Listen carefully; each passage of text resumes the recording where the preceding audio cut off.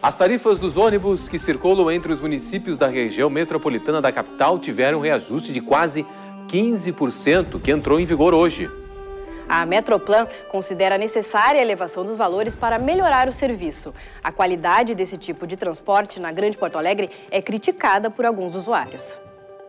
O aumento começou a valer à meia-noite de hoje, mas teve quem né? descobrisse só na hora de embarcar. No caso, a gente fica no prejuízo, né? Porque a gente pensa que é uma coisa e quando vê é outra.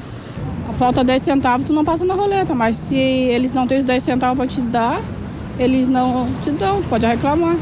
A maior parte das 450 mil passagens diárias que movimenta o transporte entre as cidades da região metropolitana é de usuários como a Maura. Ela vem de Guaíba a Porto Alegre pela manhã e volta à tarde depois do trabalho. Em 20 dias úteis, o reajuste a partir de hoje aumenta em 32 reais o custo dela, que já era de 184 reais ao mês. Esse ônibus não mudou nada. Ah, veio gente colado que nem Homem-Aranha em cima. Lotado de gente. Uma falta de, de, de responsabilidade, de, de dignidade com o povo. A Metroplan disponibiliza o 0800 5104 774 para as denúncias dos usuários.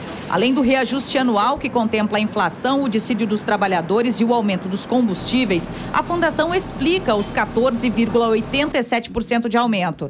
Trata-se de uma revisão da planilha de custos, que não acontecia há 15 anos e foi indicada pela Agência Estadual de Regulação dos Serviços Públicos Delegados, a AGERGS. Ela contempla a renovação da frota, melhorias no serviço e a revisão de quilometragens de rotas, por exemplo.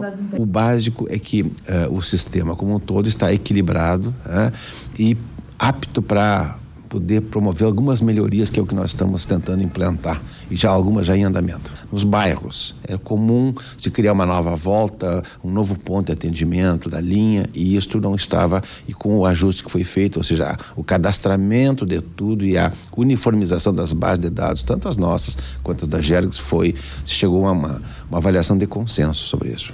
A elevação das tarifas atinge 1.500 rotas entre 34 cidades da região metropolitana.